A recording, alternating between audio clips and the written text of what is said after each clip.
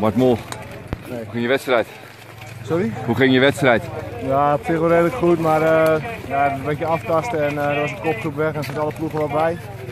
Ik hoopte eigenlijk dat er nog een paar sprongen, maar nou, dat lukte niet echt. De gang bleef er wel in en dan is het moeilijk om het te dichten.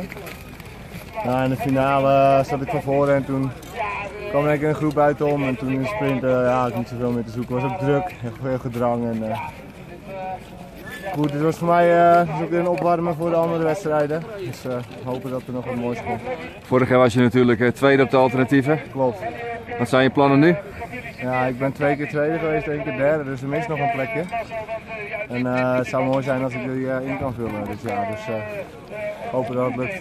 Daar is de focus helemaal op gericht, op die 200 kilometer? Of? Ja, wel redelijk, ja, focus. Ik heb ook wel eens echt veel focus opgelegd en lukt het niet. Dus ja, ik, ik, ik, ben, ik ben goed, dus daar zal het niet aan liggen. Dus ik zal wachten.